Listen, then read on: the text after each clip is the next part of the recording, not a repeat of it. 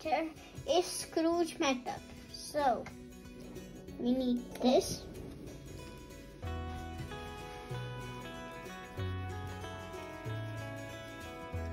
And roll it. And until it gets dry. And now I'm gonna make Scrooge McDuck's head.